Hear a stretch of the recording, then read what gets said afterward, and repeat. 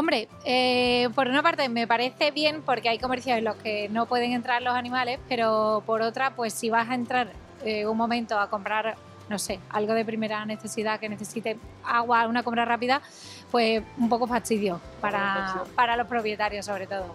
Pues me parece muy bien. Yo en realidad lo veo un poco mal, porque esas personas salen de su casa con sus mascotas, los, los está- los están paseando y si tienen que comprar en un sitio que no pueden entrar los animalitos, pues lo tienen que dejar fuera, como toda la vida. Pero esas personas aman a sus animales, porque yo, vamos, yo no tengo animales de momento, pero mm, me consta que- que lo hacen por esa situación, pues no pueden entrar al comercio. Bueno, no, no creo. Yo pensaba que me iba a decir por hacer sus necesidades, pero por dejarlo atado no me parece. Si no lo dejan entrar en el comercio, en algún sitio lo tienen que dejar y, con seguridad de que lo aten, porque si lo dejan suelto, pues con el riesgo de que se le pueda, de que se le pueda ir, no, no creo. Hay que multar por otras cosas.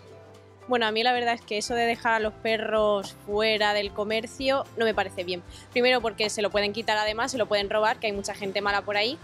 Y estar tanto tiempo esperando con el sol o con el frío no me parece bien. Yo prefiero que los dejen en casa, que luego les den los paseos, pero mejor en casa. O sea que eso no lo comparto, lo respeto, pero no comparto.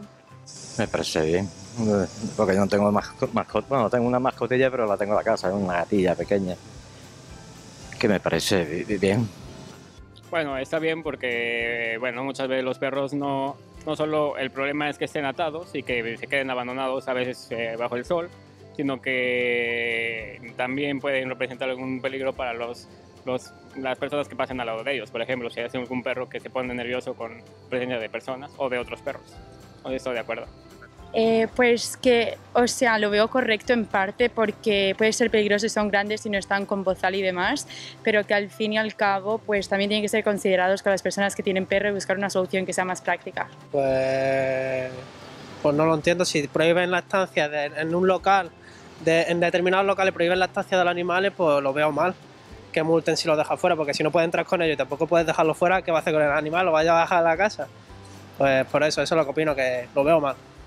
Aquí eh, eh, esos perros, no sé por qué la gente está por los perros. Los perros nos molestan.